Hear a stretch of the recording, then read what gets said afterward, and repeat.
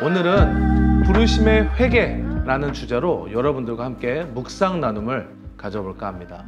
우리가 회개하면 우리의 죄를 고백하고 뉘우치는 정도의 것으로 알고 있지만 회개라는 뜻은 히브리어로 슈브라는 단어를 사용하고 있어요.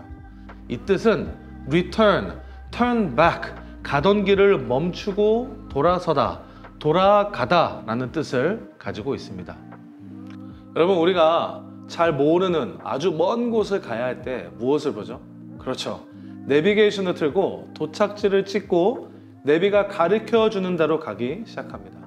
그런데 저는 종종 내비가 안내해 주는 길이 아닌 다른 길로 갈 때가 있습니다. 그때 내비는 저에게 화를 내거나 왜 가르쳐 주는 대로 안 가냐고 나무라지 않습니다. 내비는 조용히 다시 도착지로 갈 수 있는 길로 안내해 주기 시작합니다. 자, 그러면 스스로에게 다짐을 합니다. 아, 다시는 다른 길로 가지 말아야겠다고 다짐해도 어떻게 됩니까? 또 다른 길로 갈 때도 있겠죠.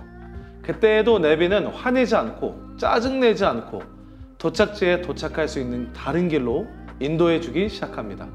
다만 도착 시간이 많이 늘어날 수 있다는 것이죠. 마태복음 4장 17절 말씀을 보니까요.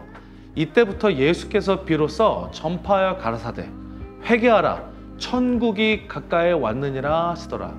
여러분 우리가 잘못된 길을 계속 가고 있을 때 내비가 우리에게 올바른 길을 알려주는 것처럼 하나님의 말씀에서도 우리가 잘못된 길을 갈 때에 가르쳐 주고 있는 것입니다.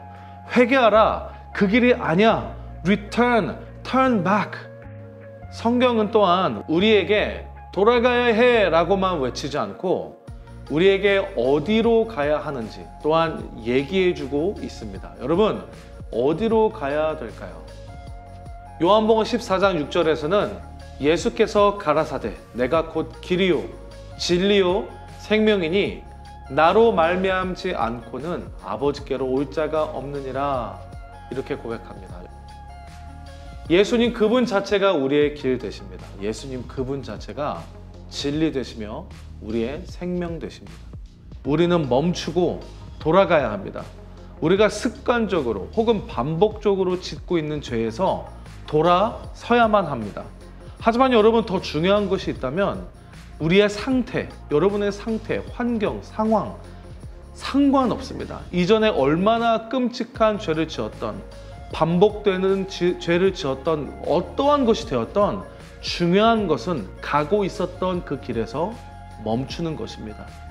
참된 길 되시며 진리 되시며 생명 되신 그분께서 여러분과 저를 그분 앞으로 이 시간 오늘도 부르시고 초청하고 계시는 것입니다. 우리가 지금 이 시간 이 말씀을 다시 한번 묵상하며 기도할 때 하나님 제가 잘못된 목적지를 선택하여 가고 있었다면 멈춰 돌아가기 원합니다. 제가 나의 길 되신 진리 되신 생명 되신 예수님 앞에 나아가기 원합니다. 성령님 나를 인도해 주세요. 이렇게 고백하는 여러분과 제가 되었으면 좋겠습니다. 이번 세션을 통해서 우리 모두가 회개하여 예수님 앞에 하나님 아버지 앞에 더 가까이 나아가는 시간이 될 거라 믿습니다. 그럼 오늘도 하나님 앞에 적극적으로, 진취적으로, 자발적으로 나아가며 말씀 앞에서 묵상함으로 나아가는 시간이 되기를 소망합니다.